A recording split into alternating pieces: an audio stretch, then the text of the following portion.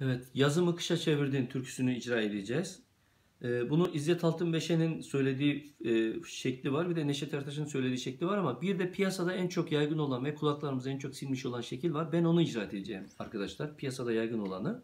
Hicaz makamı biliyorsunuz bunun. La, si bemol, do diyez e, perdelerini alıyor. Si bemol, do diyez diyelim daha doğrusu. Fa diyez de aralarda geçici olarak alıyor. Saz bölümünden başlıyoruz.